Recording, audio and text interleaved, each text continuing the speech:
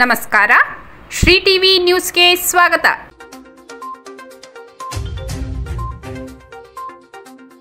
ಜಿಲ್ಲಾ ಮಟ್ಟದ ರಾಜ್ಯ ಸರ್ಕಾರಿ ನೌಕರರ ಕ್ರೀಡಾಕೂಟ ಉದ್ಘಾಟನಾ ಕಾರ್ಯಕ್ರಮ. ಕೆಆರ್ಐಡಿಎಲ್ ಅಧ್ಯಕ್ಷರಾದ ಎಂ ರುದ್ರೇಶ್ ಅವರಿಂದ ಇಂದು ಪತ್ರಿಕಾಗೋಷ್ಠಿ. ಕೊಳ್ಳೇಗಾಲ ವಿಧಾನಸಭಾ ಶಾಸಕರಾದ ಎನ್ ಮಹೇಶ್ ಅವರಿಂದ ಮೂರು ಕೋಟಿ ರು ಕಾಮಗಾರಿಗೆ ಗುದ್ದಲಿ ಪೂಜೆ.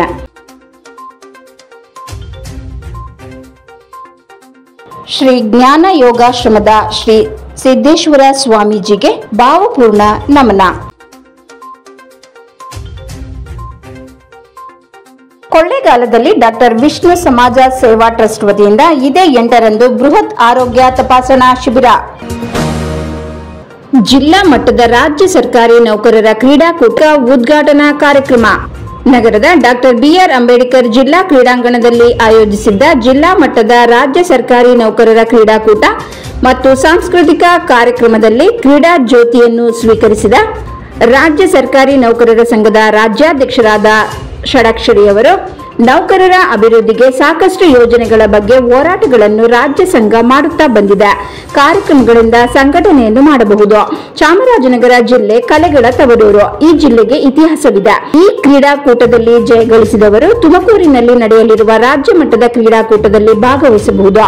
ಸರ್ಕಾರಿ ನೌಕರರು ಒತ್ತಡದಲ್ಲಿ ಕೆಲಸವನ್ನು ನಿರ್ವಹಿಸುತ್ತಿದ್ದಾರೆ. ಅವರ ಮನಸ್ಸು ಶುದ್ಧವಾಗಲು ಕ್ರೀಡಾಕೂಟ, ಸಾಂಸ್ಕೃತಿಕ ಕಾರ್ಯಕ್ರಮದಲ್ಲಿ ಭಾಗವಹಿಸಿ ಎಂದು ಇದೇ ಸಂದರ್ಭದಲ್ಲಿ ತಿಳಿಸಿದರು. ನೌಕರರ ಆರೋಗ್ಯದ ದೃಷ್ಟಿಯಿಂದ ಆರೋಗ್ಯ ಯೋಜನೆಯನ್ನು ಮುಂದಿನ ಇನ್ನೆರಡು ತಿಂಗಳಿನಲ್ಲಿ ನೌಕರರಿಗೆ ಅನುಕೂಲವಾಗುವಂತೆ ಜಾರಿಗೆ ತರಲಾಗುತ್ತದೆ. ನೌಕರರು ಸ್ಮಾರ್ಟ್ ಹೊಂದಿರಬೇಕು. ಯಾವುದೇ ಶಸ್ತ್ರಚಿಕಿತ್ಸೆ, ಇನ್ನಿತರ ರೋಗಗಳಿಗೆ ಉಚಿತವಾಗಿ ಚಿಕಿತ್ಸೆ ದೊರೆಯುವುದು ಇದರ ಉಪಯೋಗವನ್ನು ನೌಕರರು ಪಡೆದುಕೊಳ್ಳಿ ಎಂದು ತಿಳಿಸಿದರು. ಜಿಲ್ಲಾ ಮಟ್ಟದ ಕ್ರೀಡಾಕೂಟವು ಉತ್ತಮ ಮಟ್ಟದಲ್ಲಿ ಮೂಡಿಬಂದಿದೆ. ಜೊತೆಗೆ ಇನ್ನೂರು ಎಸ್ಎಸ್ಎಲ್ಸಿ ಮತ್ತು ಪಿಯುಸಿ ವಿದ್ಯಾರ್ಥಿಗಳಿಗೆ ಪ್ರತಿಭಾ ಪುರಸ್ಕಾರ ಮಾಡುತ್ತಿರುವುದು ಹೆಮ್ಮೆಯ ವಿಷಯವಾಗಿದೆ. ಇಂತಹ ಕಾರ್ಯಕ್ರಮಗಳು ಸಂಘದ ವತಿಯಿಂದ ಹೆಚ್ಚಾಗಿ ನಡೆಯಲಿ ಎಂದು ತಿಳಿಸಿದರು. ರಾಜ್ಯ ಸರ್ಕಾರದ ಜೊತೆ ಮಾತುಕತೆ ನಡೆಸಿ ಮುಂದಿನ ದಿನಗಳಲ್ಲಿ ನಮ್ಮ ಹೋರಾಟ ಎನ್ಪಿಎಸ್ ನೌಕರರನ್ನು ಓಪಿಎಸ್ ನೌಕರರನ್ನಾಗಿ ಮಾಡಿಸುವ ಉದ್ದೇಶವಾಗಿದೆ. ಇದಕ್ಕೆ ಸರ್ಕಾರಿ ಪ್ರತಿಯೊಬ್ಬ ನೌಕರರು ಸಹಕರಿಸಬೇಕು ಎಂದರು. ಮುಖ್ಯ ಅತಿಥಿಗಳಾಗಿ ಭಾಗವಹಿಸಿದ್ದ ಜಿಲ್ಲಾಧಿಕಾರಿ ಡಿಎಸ್ ರಮೇಶ್ ಮಾತನಾಡಿ, ದೈಹಿಕ, ಮಾನಸಿಕ ಆರೋಗ್ಯವನ್ನು ಉತ್ತಮವಾಗಿಟ್ಟುಕೊಳ್ಳಲು ಕ್ರೀಡೆ ಸಹಕಾರಿಯಾಗಿದೆ. ಆಟದ ಹಕ್ಕು ಇಲ್ಲ ಎಂಬ ಭಾವನೆ ಸರ್ಕಾರಿ ನೌಕರರಲ್ಲಿದೆ. ಸಾಂಸ್ಕೃತಿಕ ಕ್ರೀಡಾ ಚಟುವಟಿಕೆಗಳಲ್ಲಿ ಭಾಗವಹಿಸುವಿಕೆ ಬಹಳ ಕಡಿಮೆ ಇದೆ. ಕ್ರೀಡೆಗಳಲ್ಲಿ ತಮ್ಮನ್ನು ತಾವು ತೊಡಗಿಸಿಕೊಳ್ಳುವುದು ವಿರಳ. ಸರ್ಕಾರಿ ನೌಕರರಿಗೆ ಕ್ರೀಡೆ ಪ್ರಮುಖ ಪಾತ್ರ ವಹಿಸುತ್ತದೆ. ದೇಹವನ್ನು ಸದೃಢವಾಗಿ, ಆರೋಗ್ಯಕರವಾಗಿ ಇಟ್ಟುಕೊಂಡರೆ ಆಗ ಮಾತ್ರ ಉತ್ತಮ ಕೆಲಸ ಮಾಡಲು ಸಾಧ್ಯ. ಪ್ರತಿನಿತ್ಯ ಕ್ರೀಡೆಯಲ್ಲಿ ತೊಡಗಿಸಿಕೊಳ್ಳಬೇಕು. ಕ್ರೀಡಾಕೂಟವನ್ನು ವರ್ಷಕ್ಕೊಮ್ಮೆ ನಡೆಸುವ ಬದಲು ತಿಂಗಳಿಗೊಮ್ಮೆ ನಡೆಸಬೇಕು. ಆಗ ನೌಕರರಲ್ಲಿ ಉತ್ಸಾಹ ಇರುತ್ತದೆ. ದೇಹವನ್ನು ಆರೋಗ್ಯವಾಗಿಟ್ಟುಕೊಳ್ಳಲು ಇದು ಸಾಧ್ಯವಾಗುತ್ತದೆ ಎಂದು ತಿಳಿಸಿದರು. ಕಾರ್ಯಕ್ರಮದ ಅಧ್ಯಕ್ಷತೆ ವಹಿಸಿದ್ದ ಶಾಸಕರಾದ ಸಿ ಪುಟ್ಟರಂಗ ಶೆಟ್ಟಿ ಮಾತನಾಡಿ, ಚುನಾಯಿತ ಪ್ರತಿನಿಧಿಗಳು ಪಕ್ಷದ ಒಂದು ಭಾಗ. ಸಿಎಂ ಸಚಿವರ ಕಾರ್ಯಕ್ರಮ ರೂಪಿಸುವುದು ಅಧಿಕಾರಿ ವರ್ಗ. ಬಜೆಟ್ ಅನ್ನು ತಯಾರು ಮಾಡುವುದು ಸಹ ಅಧಿಕಾರಿಗಳು. ಯಾವ ರೀತಿ ಸರ್ಕಾರ ನಡೆಸಬೇಕು, ಯಾವ ಯಾವ ಅನುದಾನಗಳನ್ನು ಬಳಕೆ ಮಾಡಿಕೊಳ್ಳಬೇಕು ಎಂಬುದರ ಬಗ್ಗೆ ಯೋಜನೆ ರೂಪಿಸುವುದು ಅಧಿಕಾರಿ ವರ್ಗ ಎಂದರು. ಆದ್ದರಿಂದ ಕಾರ್ಯಾಂಗಕ್ಕೆ ಹೆಚ್ಚಿನ ಜವಾಬ್ದಾರಿ ಇದೆ. ಹಳೆ ಪಿಂಚಣಿ ಯೋಜನೆ ಜಾರಿಗೊಳಿಸುವಂತೆ ನೌಕರರು ನಡೆಸುತ್ತಿರುವ ಹೋರಾಟ ಮುಂದಿನ ದಿನಗಳಲ್ಲಿ ಯಶಸ್ಸು ಕಾಣಲಿ. ನೌಕರರ ವರ್ಗದಲ್ಲಿ ಒಗ್ಗಟ್ಟು ಇದ್ದು ಕ್ರೀಡೆಗಳಲ್ಲಿ ಸೋಲು ಗೆಲುವನ್ನು ಸಮಾನವಾಗಿ ಸ್ವೀಕರಿಸಿ. ರಾಜ್ಯ ಮಟ್ಟದಲ್ಲಿ ಜಯ ಗಳಿಸುವ ಮೂಲಕ ಜಿಲ್ಲೆಗೆ ಕೀರ್ತಿ ತರಬೇಕು ಎಂದು ತಿಳಿಸಿದರು. ಇದೇ ಸಂದರ್ಭದಲ್ಲಿ ಎಸ್ಎಸ್ಎಲ್ಸಿ ಪಿಯುಸಿ ವಿದ್ಯಾರ್ಥಿಗಳಿಗೆ ಪ್ರತಿಭಾ ಪುರಸ್ಕಾರ ನೀಡಿ ಸನ್ಮಾನಿಸಲಾಯಿತು. ಬಳಿಕ ವಿವಿಧ ಕ್ರೀಡೆಗಳಲ್ಲಿ ನೌಕರರು ಉತ್ಸಾಹದಿಂದ ಭಾಗವಹಿಸಿದರು. ನಗರಸಭಾ ಅಧ್ಯಕ್ಷರಾದ ಆಶಾ, ರಾಜ್ಯ ಸರ್ಕಾರಿ ನೌಕರರ ಸಂಘದ ರಾಜ್ಯಾಧ್ಯಕ್ಷರಾದ ಷಡಕ್ಷರಿ, ಜಿಲ್ಲಾ ಪಂಚಾಯತ್ ಸಿಇಒ ಕೆಎಂ ಗಾಯತ್ರಿ, ಅಪರ ಜಿಲ್ಲಾಧಿಕಾರಿ ಕಾತ್ಯಾಯನಿ ದೇವಿ, ಸಂಘದ ಜಿಲ್ಲಾಧ್ಯಕ್ಷರಾದ ಚಂದ್ರಶೇಖರ್, ಸರ್ಕಾರಿ ನೌಕರರ ಸಂಘದ ಖಜಾನ್ಸಿ ಎಸ್ ಮಹದೇವಯ್ಯ, ಪ್ರಧಾನ ಕಾರ್ಯದರ್ಶಿ ಮಹದೇವಸ್ವಾಮಿ, ಗೌರವಾಧ್ಯಕ್ಷರಾದ ಎಚ್ ಎಸ್ ಶಿವಮೂರ್ತಿ, ಕಾರ್ಯದರ್ಶಿ ಎಸ್ ಸಿದ್ದರಾಜು, ಹಿರಿಯ ಉಪಾಧ್ಯಕ್ಷ ವಾರ್ತಾ ಇಲಾಖೆ ಜಯಶಂಕರ್, ಕ್ರೀಡಾ ಕಾರ್ಯದರ್ಶಿ ಸುಮನ್ ಮಲ್ಲಿಕಾರ್ಜುನ್ ಸೇರಿದಂತೆ ತಾಲೂಕಿನ ಅಧ್ಯಕ್ಷರು, ಸದಸ್ಯರು ಈ ಸಂದರ್ಭದಲ್ಲಿ ಹಾಜರಿದ್ದರು. ಕೆಆರ್ಐಡಿಎಲ್ ಅಧ್ಯಕ್ಷರಾದ ಎಂ ರುದ್ರೇಶ್ ಅವರಿಂದ ಇಂದು ಪತ್ರಿಕಾಗೋಷ್ಠಿ. ಜಿಲ್ಲೆಯ ಮೂರು ವಿಧಾನಸಭಾ ಕ್ಷೇತ್ರಗಳಿಗೆ ಇಪ್ಪತ್ತೇಳು ಪಾಯಿಂಟ್ ಐದು ಕೋಟಿ ರುಗಳ ಅನುದಾನ ನೀಡಲಾಗಿದೆ ಎಂದು ಕೆಆರ್ಐಡಿಎಲ್ ಅಧ್ಯಕ್ಷರಾದ ಎಂ ರುದ್ರೇಶ್ ತಿಳಿಸಿದರು. ಚಾಮರಾಜನಗರ ಕ್ಷೇತ್ರಕ್ಕೆ ಹನ್ನೆರಡು ಪಾಯಿಂಟ್ ಐದು ಕೋಟಿ ರು, ಆನೂರು ಕ್ಷೇತ್ರಕ್ಕೆ ಹತ್ತು ಕೋಟಿ ಹಾಗೂ ಕೊಳ್ಳೇಗಾಲ ಕ್ಷೇತ್ರಕ್ಕೆ ಐದು ಕೋಟಿ ರುಗಳ ಅನುದಾನ ನೀಡಲಾಗಿದ್ದು ಮುಖ್ಯಮಂತ್ರಿಗಳು ಆಡಳಿತಾತ್ಮಕವಾಗಿ ಅನುಮೋದನೆ ನೀಡಿದ್ದಾರೆ. ಕಾಮಗಾರಿ ಪ್ರಾರಂಭವಾಗಲಿದೆ ಎಂದು ಸುದ್ದಿಗೋಷ್ಠಿಯಲ್ಲಿ ಅವರು ತಿಳಿಸಿದರು. ಕೋವಿಡ್ ಸಂದರ್ಭದಲ್ಲಿ ರಾಜ್ಯದ ಶಿಗ್ಗಾಂ, ಹಾವೇರಿ, ಕನಕಪುರ, ಚಾಮರಾಜನಗರ, ಮಾಗಡಿಗೆ ಆಕ್ಸಿಜನ್ ಪ್ಲಾಂಟ್ ನಿರ್ಮಿಸಿಕೊಡಲಾಗಿತ್ತು. ಅನೂರು ಕ್ಷೇತ್ರದಲ್ಲಿ ವಿದ್ಯಾರ್ಥಿಗಳಿಗೆ ಎರಡು ಸಾವಿರದ ಐನೂರು ಟ್ಯಾಬ್ ವಿತರಣೆ ಮಾಡಲಾಗಿದೆ. ವರ್ಷಕ್ಕೆ ಆರರಿಂದ ಏಳು ಕೋಟಿ ರು ಸಿಎಸ್ಆರ್ ಅನುದಾನ ಬರುತ್ತದೆ. ಇದರಲ್ಲಿ ಜಿಲ್ಲೆಗೆ ಎರಡು ಪಾಯಿಂಟ್ ಐದು ಕೋಟಿ ರು ನೀಡಲಾಗಿದೆ. ಅನುದಾನದಿಂದ ವಿವಿಧ ಕಡೆಗಳಲ್ಲಿ ಶುದ್ಧ ಕುಡಿಯುವ ನೀರಿನ ಘಟಕ ನಿರ್ಮಾಣ, ಸಮುದಾಯ ಭವನ ಮಠಗಳಿಗೆ ನೀಡಲಾಗಿದೆ ಎಂದರು. ಚಾಮರಾಜನಗರ ಕ್ಷೇತ್ರದಿಂದ ಚುನಾವಣೆಯಲ್ಲಿ ಸ್ಪರ್ಧಿಸಲು ಪಕ್ಷದ ವರಿಷ್ಠರು ಸೂಚಿಸಿದರೆ ನಾನು ಪ್ರಬಲ ಆಕಾಂಕ್ಷಿಯಾಗಿದ್ದೇನೆ. ಆದರೆ ಹೈಕಮಾಂಡ್ ಪಕ್ಷದ ಸರ್ವೆ ನಡೆಸಿ ಯಾರು ಗೆಲ್ಲುವ ಅಭ್ಯರ್ಥಿಯಾಗಿರುತ್ತಾರೆ ಅವರಿಗೆ, ಆದರೆ ಪಕ್ಷದ ತೀರ್ಮಾನವೇ ಅಂತಿಮ ತೀರ್ಮಾನವಾಗಿದ್ದು ಒಟ್ಟಾರೆಯಾಗಿ ಕಳೆದ ಚುನಾವಣೆಯಲ್ಲಿ ಅತಿ ಕಡಿಮೆ ಅಂತರದಿಂದ ಸೋತಿರುವುದರಿಂದ ಈ ಸಲ ಹೆಚ್ಚಿನ ಒತ್ತು ನೀಡಿದ್ದು ಈ ಕ್ಷೇತ್ರದಲ್ಲಿ ಗೆಲ್ಲಿಸಿಕೊಳ್ಳಲು ಪಕ್ಷದ ಸಂಘಟನೆಯನ್ನು ಮಾಡಲಾಗುತ್ತಿದೆ ಎಂದು ಇದೇ ಸಂದರ್ಭದಲ್ಲಿ ತಿಳಿಸಿದರು. ಸುದ್ದಿಗೋಷ್ಠಿಯಲ್ಲಿ ಮುಖಂಡರಾದ ಬಸವಣ್ಣ, ಜಗನ್ನಾಥ್, ಶಂಕರ್, ಮೋಹನ್ ಶ್ರೀನಾಥ್ ಇತರರು ಹಾಜರಿದ್ದರು. ಕೊಳ್ಳೇಗಾಲ ವಿಧಾನಸಭಾ ಶಾಸಕರಾದ ಎನ್ ಮಹೇಶ್ ಅವರಿಂದ ಮೂರು ಕೋಟಿ ರು ಕಾಮಗಾರಿಗೆ ಗುದ್ದಲಿ ಪೂಜೆ.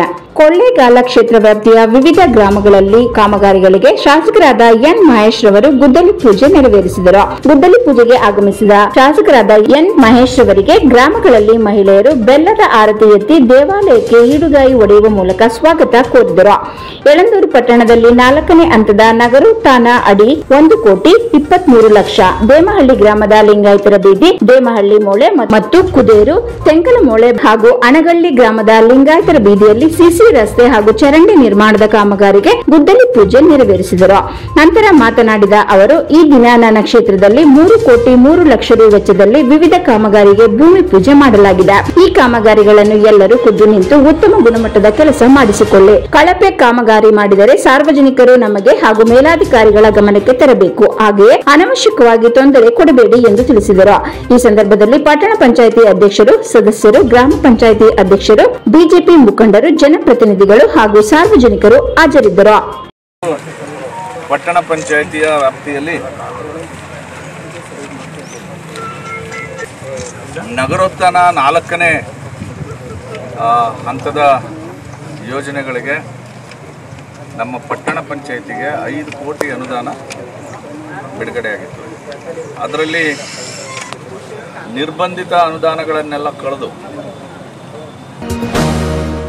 ಲಿಂಗೈಕ್ಯರಾದ ಶ್ರೀ ಸಿದ್ದೇಶ್ವರ ಮಹಾಸ್ವಾಮೀಜಿ ಅವರಿಗೆ ಗೌರವಪೂರ್ಣ ನಮನ. ಶ್ರೀ ಜ್ಞಾನ ಯೋಗಾಶ್ರಮದ ಶ್ರೀ ಸಿದ್ದೇಶ್ವರ ಸ್ವಾಮೀಜಿ ಅವರ ನಿಧನದ ಹಿನ್ನೆಲೆಯಲ್ಲಿ ಜಿಲ್ಲಾ ಕಾಂಗ್ರೆಸ್ ಕಚೇರಿಯಲ್ಲಿ ಶ್ರೀ ಸಿದ್ದೇಶ್ವರ ಸ್ವಾಮಿ ಅವರ ಭಾವಚಿತ್ರಕ್ಕೆ ಶಾಸಕರಾದ ಪುಟ್ಟರಂಗಶೆಟ್ಟಿ ಹಾಗೂ ಪಕ್ಷದ ಮುಖಂಡರು, ಕಾರ್ಯಕರ್ತರು ಪುಷ್ಪಾರ್ಚನೆ ಮಾಡಿ ನಮನ ಸಲ್ಲಿಸಿದರು. ನಮನ ಸಲ್ಲಿಸಿ ಮಾತನಾಡಿದ ಶಾಸಕರಾದ ಸಿ ಪುಟ್ಟರಂಗಶೆಟ್ಟಿ ಅವರು ಸಿದ್ದೇಶ್ವರ ಶ್ರೀಗಳು ಅತ್ಯಂತ ಸರಳ ಜೀವನ ನಡೆಸಿದ್ದವರು. ಅಸಂಖ್ಯ ಜನರ ಪಾಲಿಗೆ ನಡೆದಾಡುವ ದೇವರು ನುಡಿದಂತೆ ನಡೆದವರು ಎಂದರು ಸಿದ್ದೇಶ್ವರ ಸ್ವಾಮಿಯವರು ಶರಣರು ನೀಡಿದ ಮೌಲ್ಯಗಳನ್ನು ಬಿತ್ತುವ ಕಾರ್ಯ ಮಾಡಿದರು. ಆಧ್ಯಾತ್ಮಿಕತೆಗೆ ತಮ್ಮ ಬದುಕನ್ನು ಮುಡಿಪಾಗಿಟ್ಟಿದ್ದರು. ಅವರು ದೇಶ ವಿದೇಶಗಳಲ್ಲೂ ಜನಸಾಮಾನ್ಯರಿಗೂ ಅರ್ಥವಾಗುವಂತೆ ತಮ್ಮದೇ ಶೈಲಿಯಲ್ಲಿ ಪ್ರತಿಯೊಬ್ಬರಿಗೂ ಮನಮುಟ್ಟುವಂತೆ ಪ್ರವಚನ ನೀಡುತ್ತಿದ್ದರು. ಅವರ ನಿಧನ ನಾಡಿಗೆ ತುಂಬಲಾರದ ನಷ್ಟವಾಗಿದೆ.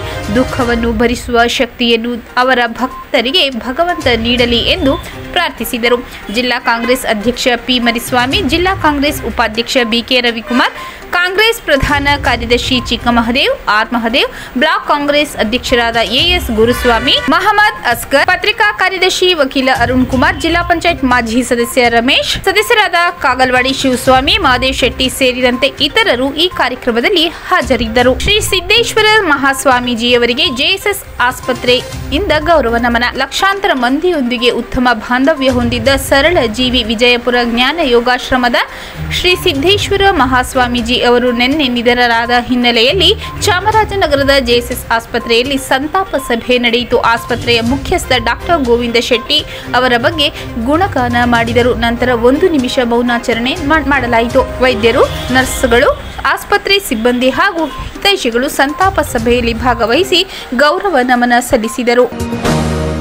ಕೊಳ್ಳೇಗಾಲದಲ್ಲಿ ಡಾಕ್ಟರ್ ವಿಷ್ಣು ಸಮಾಜ ಸೇವಾ ಟ್ರಸ್ಟ್ ವತಿಯಿಂದ ಇದೇ ಜನವರಿ ಎಂಟರಂದು ಬೃಹತ್ ಆರೋಗ್ಯ ತಪಾಸಣೆ ಶಿಬಿರ. ಕೊಳ್ಳೇಗಾಲ ಪಟ್ಟಣದ ಚೌಡೇಶ್ವರಿ ಕಲ್ಯಾಣ ಮಂಟಪದಲ್ಲಿ ಜನವರಿ ಎಂಟರಂದು ಡಾಕ್ಟರ್ ವಿಷ್ಣುವರ್ಧನ್ ಪುಣ್ಯ ಸ್ಮರಣೆ ಕಾರ್ಯಕ್ರಮ ಹಮ್ಮಿಕೊಂಡಿದ್ದು, ಕೊಳ್ಳೇಗಾಲ ವಿಧಾನಸಭಾ ಕ್ಷೇತ್ರದ ಎಲ್ಲರೂ ಹೆಚ್ಚಿನ ಸಂಖ್ಯೆಯಲ್ಲಿ ಭಾಗವಹಿಸುವಂತೆ ಡಾಕ್ಟರ್ ವಿಷ್ಣು ಸಮಾಜ ಸೇವಾ ಟ್ರಸ್ಟ್ ವತಿಯಿಂದ ಅಭಿಮಾನಿ ಹಾಗೂ ಸಾರ್ವಜನಿಕರಿಗೆ ಆಹ್ವಾನ ನೀಡಲಾಯಿತು.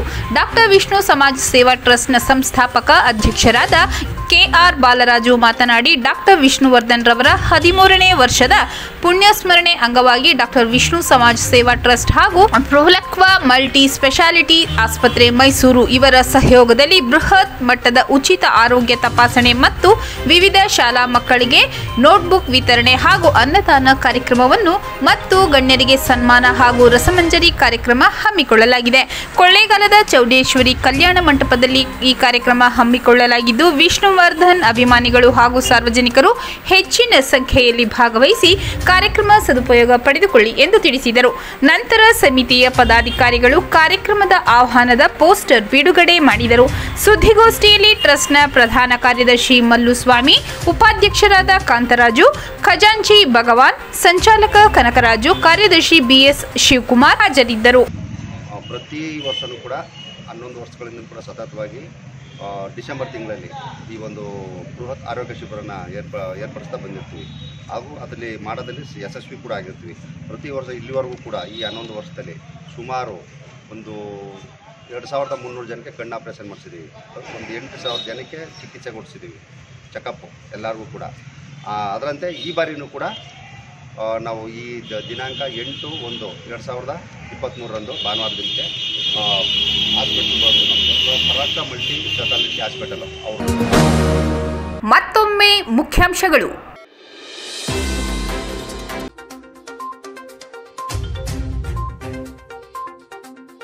ಜಿಲ್ಲಾ ಮಟ್ಟದ ರಾಜ್ಯ ಸರ್ಕಾರಿ ನೌಕರರ ಕ್ರೀಡಾಕೂಟ ಉದ್ಘಾಟನಾ ಕಾರ್ಯಕ್ರಮ.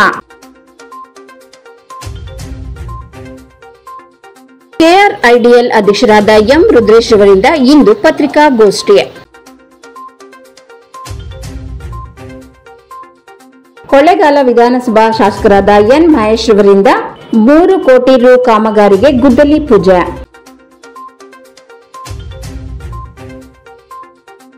ಶ್ರೀ ಜ್ಞಾನ ಯೋಗಾಶ್ರಮದ ಶ್ರೀ ಸಿದ್ದೇಶ್ವರ ಸ್ವಾಮೀಜಿಗೆ ಭಾವಪೂರ್ಣ ನಮನ.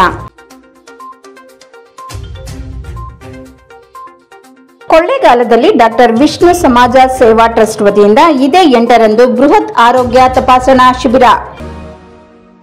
ಧನ್ಯವಾದಗಳು.